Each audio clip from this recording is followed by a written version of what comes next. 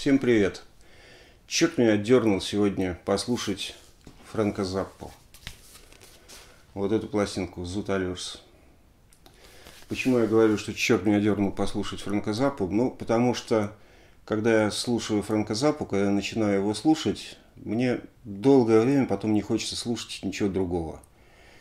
И я слушаю альбом за альбомом, и не один день даже бывает. Потому что, ну, после музыки Фрэнка Заппы как-то слушать что-либо другое как-то нелепо и смешно, мне кажется. Но потом это проходит. Потом я возвращаюсь в мир, в мир современной и старинной музыки.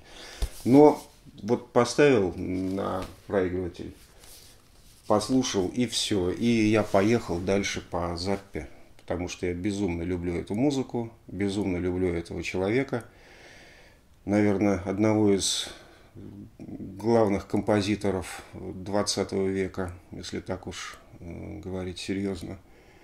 Удивительный совершенно музыкант и очень хорошая пластинка. Таким замечательным оформлением, такие красавцы, 1976 год. Здесь не все музыканты сфотографированы, которые принимают участие в записи. В частности, Кэптен Бифхарт здесь играет и много кто еще. Рут Андервуд, как обычно на перкуссии и синтезаторах. Терри Бозио, барабанщик молодой, тут сидит. Металлист страшный, да, Терри Бозио, все знают, любят. Ну, вот эта пластинка 76 года, она единственная, э, которая вышла на фирме Warner. У Запы был очередное, там, очередное судилище, бесконечное его судебное разбирательство, которое всю жизнь его сопровождали – ну, в общем, собрал он такой состав и записал ломовой совершенно альбом, который я могу сравнить, наверное, с идеологически я его могу сравнить с пластинкой э, King Crimson Red, которая декларативно сказать, заявила о конце традиционного рока, о переходе в другое качество рок-музыки что и произошло, собственно говоря. Ничего в этом противоестественного нет, так и случилось. Вот эта пластинка тоже 76 год, и то же самое музыкальное заявление, что старый рок закончил свое существование, начинается новая эпоха. Ну, умные люди, большие музыканты, они, в общем, все это предвидели, чувствовали и выражали в своем творчестве, извините за пафос. Но музыка здесь как и на любом альбоме Запы, отличается от предыдущего и от будущего. Все совершенно штучный товар, но в данном случае товар очень хороший, очень необычный. Э, Wind Up Walking in a Gas Station, первое произведение. Во-первых, песни очень короткие здесь. За редким исключением, например, там The Torch Never Stops длится 10 минут, ну, 9.52.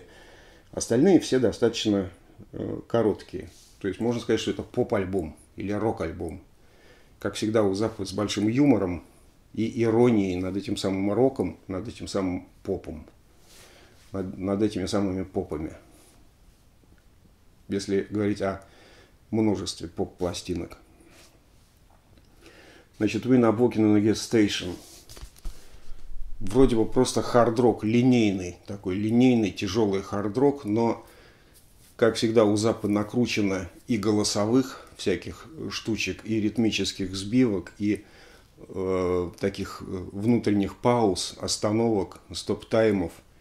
Но при этом ощущение движения вперед, бесконечного рока, гитарного такого, оно сохраняется. И довольно прямая песня, но если возможно вообще прямые песни у Заппы, то она, можно говорить, что она прямая – ну, очень интересная, с женскими бэками, с женским пением, там поет, кто же здесь поет-то, поет э, Дэйви, Дэйви Мор, лид-вокал и бэкграунд-вокал, там несколько голосов она поет, яростным просто воплем, она не поет, она вопит просто, ну вопит все по ноткам, как у Заппы, у него же все, все по ноткам всегда, все, он всегда так, все, никаких вольностей не допускал. Все очень здорово, ну такой ракешник просто. Первая песня прямо вламывает. Не зря я вот в этой майке. Что Моторхед или что-то написано? Да, Моторхед. Моторхеда сегодня не будет, здесь это покруче Моторхеда. Врубает так, что мало просто уже не кажется. Далее идет Black Napkins, 4,5 минуты. Идеальная инструментальная песня. Вообще здесь ну, песня, произведение. Вообще здесь э, такие вещи, как Black Napkins, Zoot Allures, сама по себе заглавная песня, и кусочек э, The Torture Never Stops, как, к я подойду попозже. Вот Black Napkins и, э, Black Napkins и Zoot Allures – это такие гитарные, не хочется говорить, работы, такие гитарные пьесы удивительные, которые входили в не входи, которые игрались на множестве концертов потом Фрэнка Заппа и открывали концерты даже этими песнями группа, э, группа Заппа, Заппа открывал, собственно говоря. И Блэк Напкинс играл в начале концерта, и Зуталюрс там местами, потому что это такие показательные гитарные заявления виртуоза абсолютного, абсолютного виртуоза с безумной фантазией, с ярчайшим композиторским мышлением – необычно, красиво, неожиданно и технически совершенно просто все это сделано. И если я не ошибаюсь, Black Napkins это, э, это запись э, с концерта в Осаке в Японии в 1976 году. То есть Запа писал большинство своих концертов, если не все, он записывал в хорошем качестве и распределял потом кусочки этих живых выступлений в э, разные альбомы. Вот это Black Napkins как раз никогда не скажешь, что это концертная запись, она выходит из первой песни, вот, вот этой One Gas Station в Black Napkins, и переходит, это изумительное гитарное произведение, скоростное и лирическое одновременно, и скоростное, и яркое, и жесткое, и нежное. Ну, музыкант все это делал, делал осмысленно. Переходит в The Torch Never Stops, 10-минутная пьеса, гитарная, практически на двух аккордах построена, где бас-гитару играет Заппа, лидер-гитару играет Заппа, кусочки синтезаторные играет Заппа. Это пытка, которая не останавливается. Очень красивая гитарная игра, невероятное женское пение, женщина, которую то ли ее мучают, то ли она кричит в экстазе. До сих пор никто толком понять не может и разобраться в этом, вот в, в этих воплях женских, которые сопровождают песню про то, что пытка никогда не заканчивается. И где-то я видел кусочек концерта, по-моему, в Финляндии, когда Фрэнк Заппа сказал, что сейчас будет The Never Stops, и стал играть 15-минутную, по-моему, версию этой песни. Это, это это, с одной стороны, юмор, с другой стороны, может быть, и нет. Для тех, кто не выдерживает 15 минут игры на гитаре, это было, конечно, The Torture Never. Но песня ярчайшая, запоминающаяся навсегда. Если кто не слышал Фрэнка Заппу, начните с этого альбома, ну хотя бы даже с, с этой самой песни The Torture Never Stops, запомните на всю жизнь. Это я вам гарантирую. Ну и в конце Мистер Пинки с очень хорошим голосовым э, таким э, с, с очень хорошей голосовой линией, я скажу так, где Запа поет там несколько голосов, очень-очень очень красиво и очень так, такую в раскачку. Характерная для Заппы песня и достаточно роковая тоже. Вообще весь альбом очень роковый. Find Her Fine на, Finer на второй стороне открывается. Так такой качающийся, полупьяный, но при этом очень точно сыгранный, очень качественно. Все, все так расставлено по месту. Такой так, так, так, такая затягивающая штука. Хочется подпевать, хочется покачиваться, хочется э, как-то поучаствовать, по, по, по, посопереживать тому, что делает э, артист. Естественно, с неожиданными остановками, с неожиданными голосовыми э, штучками. Все здорово, все не скучно, все очень интересно.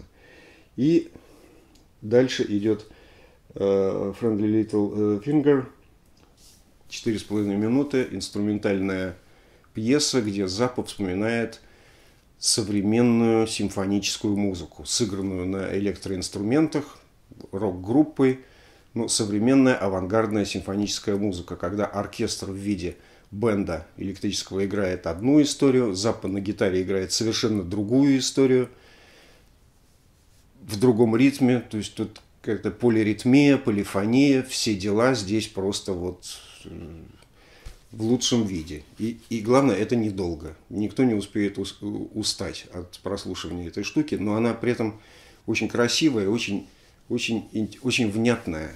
Не какая-то шизофрения там просто, а прописанное полотно с очень интересной гитарной игрой.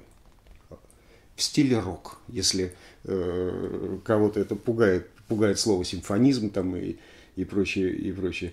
Wonderful Wino – Вайно, вино написано буковками, читается Вайно, Wonderful Wino. Эта песня, это кавер, я не помню, кто автор, но Запа превратил ее в какой-то безумный, такой странный рок. У Запы все безумно и странно, очень здорово. Ну, из Зуталюрс, я уже говорил, 4 минуты 15 секунд – как какой-то космической красоты просто гитарная игра, очень, очень неожиданная, очень, очень правильная и очень как, какая-то отсылает тоже к классической музыке. Я бы никогда не назвал это роком. Хотя формально это, да, электрогитара, барабаны, бас, все. Но никогда бы я не назвал это роком, рок-н-роллом, рок-музыкой. Это какое-то отдельное направление – отдельная музыка Фрэнка Заппы. Он, кстати, говорил о прогрессивном роке и не отнес к понятию прогрессивный рок ни Yes, ни Genesis, ни Jet Rotal, ни Procol Harum. Он говорил, что это все, это, это все рок. Это все рок просто ну, где-то попроще, где-то посложнее, где-то побольше инструментов, где-то вставки из классики, где-то их нет, но это все рок-музыка. Это, что здесь прогрессивного? Это та же самая рок-музыка, просто ну, какими-то такими вот другими средствами сыгранная. А, в общем, в чем отличие? Это в количестве инструментов, в количестве партий, в скорости игры. Ну, по сути, рок-музыка. Так вот это вот Зуталюрс, это не рок-музыка. Это прогрессивный рок. Я так присоединюсь здесь к Фрэнку Заппи. И диско-бой в конце. Пять минут с лишним идет песня, которая предваряет накатывающуюся эпоху диска. Запа прекрасно все это видел, прекрасно все это слышал, прекрасно понимал то, что ждет массовую культуру, во что она превратится, во что превратятся слушатели, во что превратятся политики и к чему все это в конечном итоге может привести, что мы и наблюдаем сейчас. Умный был человек Фрэнк Заппа, все это все это нам сыграл, на самом деле. Не только здесь, на других альбомах тоже, поэтому очень-очень советую. Ну, а я, как уже и говорил, послушав вот эту пластинку, вспомнив Total Recall, вспомнив все, отправился в путешествие по следующему альбому Заппы. Потому что из этой, из этой штуки не вырваться так просто. Она настолько хороша, что просто не вырваться никак и никуда. За это я немедленно выпью, чего и всем желаю. Но главное, чтобы со здоровьем все было хорошо. Не увлекайтесь. Запах, кстати, в этом деле поможет вам. За исключением того, что он курил табак, как и я. Он не употреблял никаких препаратов, изменяющих сознание, ненавидел пиво. Может быть, многие меня не поддержат в этом. Он говорил, что пиво вообще это путь к фашизму. Но это его личное мнение такое. Но, тем не менее, вообще очень все с ним интересно и непросто. Фрэнк Запад Зуд Алюрс, 1976 год. Пошел пить пока.